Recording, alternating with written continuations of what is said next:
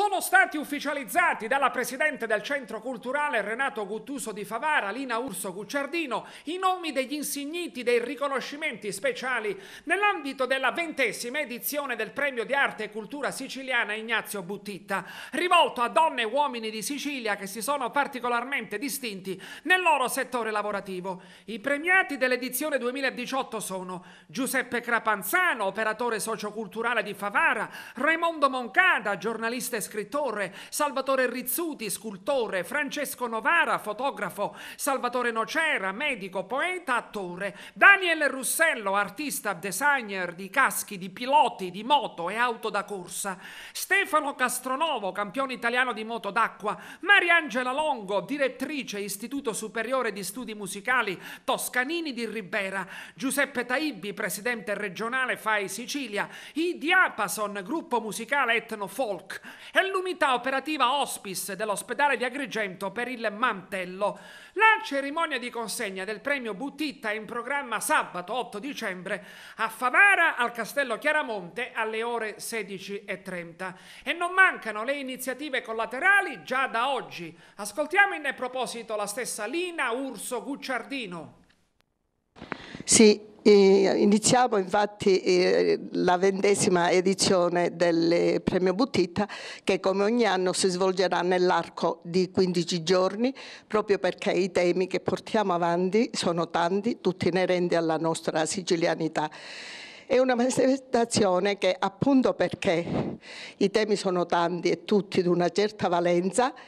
è necessario che ci sia una mole di lavoro organizzativo non indifferente e nello stesso tempo il coinvolgimento di tante realtà, di tante persone e prima di tutte le istituzioni e le scuole perché noi con questa, con questa, manifestazione vogliamo incidere in maniera concreta diciamo, sul nostro tessuto sociale e quindi è necessario che ci sia una sinergia di forze. La manifestazione inizia oggi 28 novembre, appunto con due incontri particolari. Abbiamo il gemellaggio con il comune di Comitini,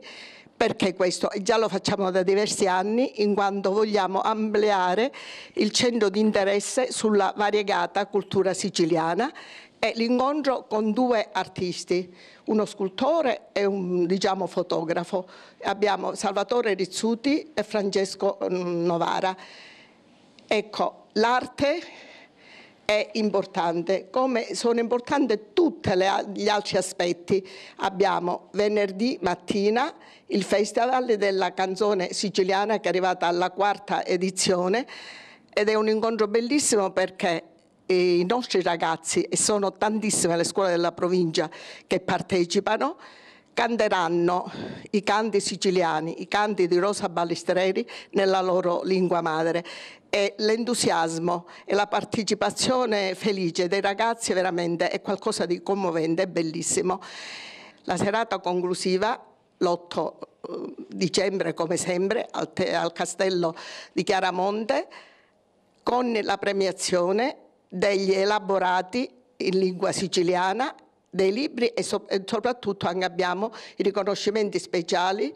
a persone che con il loro operato fanno grande la nostra Sicilia. Con orgoglio devo dire che quest'anno sono arrivati più di 500 elaborati da tutte le parti, non d'Italia, anche dall'estero. E quando vedevo il timbro praticamente dall'estero era per me una gioia perché dico, è bello che il premio Guttuso sia conosciuto, ma soprattutto è bello vedere che le persone che sono fuori scrivono in lingua madre i loro sentimenti, la loro nostalgia, la loro gioia di essere siciliani.